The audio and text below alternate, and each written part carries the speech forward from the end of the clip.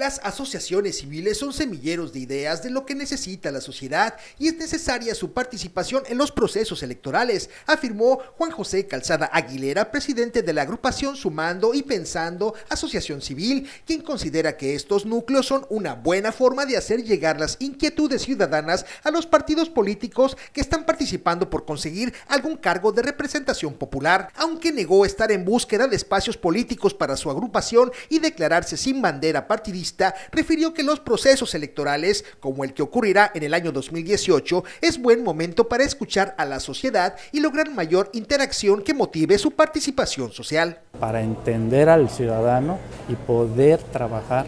para el fin que fue, eh, eh, para el que son seleccionados para representar. Creo que para eso deben de existir las asociaciones civiles y deben de vincularse correctamente con ese tipo de procesos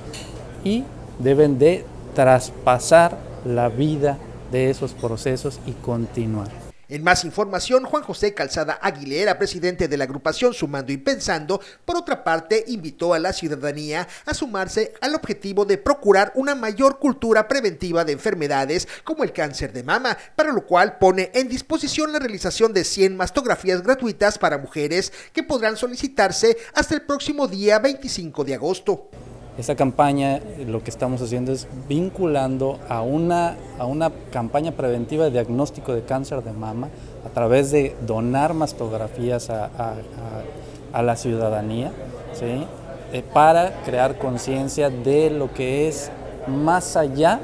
del cáncer de mama, es lo que es la prevención y la cultura de la autoexploración en específico para este caso. Con imágenes de Javier Celis informó para Notivisión